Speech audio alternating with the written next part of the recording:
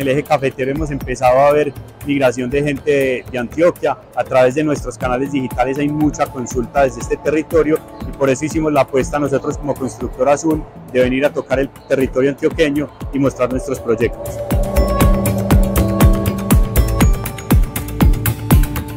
¿Qué proyectos tenemos en este momento? Tenemos apartamentos BIS en un proyecto que se llama Montebonito Apartamentos, apartamentos desde 203 millones de pesos con parqueadero incluido, en unidad cerrada, con piscina para adultos, para niños, salón social, gimnasio semidotado.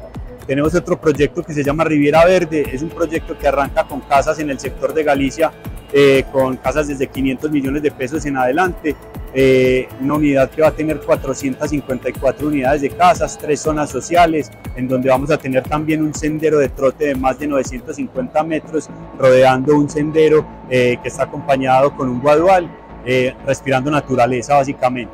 Y tenemos el proyecto, digamos, premium de nosotros que se llama Mucaba del Bosque, en donde son casas, 85 casas que van desde los 1.214 millones de pesos en adelante, en donde vas a encontrar, uno, comodidad, privacidad y lo mejor de todo, el contacto con la naturaleza.